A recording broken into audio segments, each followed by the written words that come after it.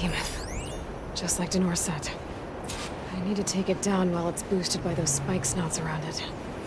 But, I'm gonna do some damage to it beforehand. Make this fight easier.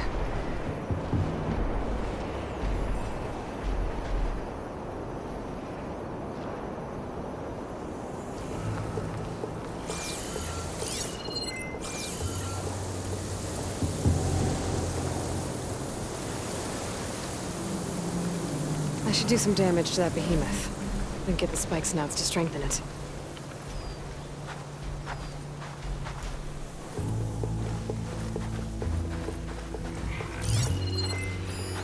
Be a long fight if I stick to shock ammo.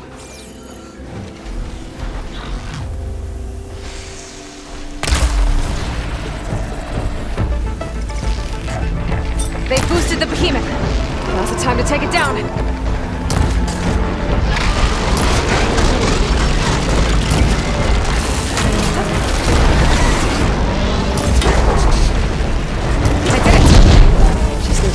Those parts for Denor.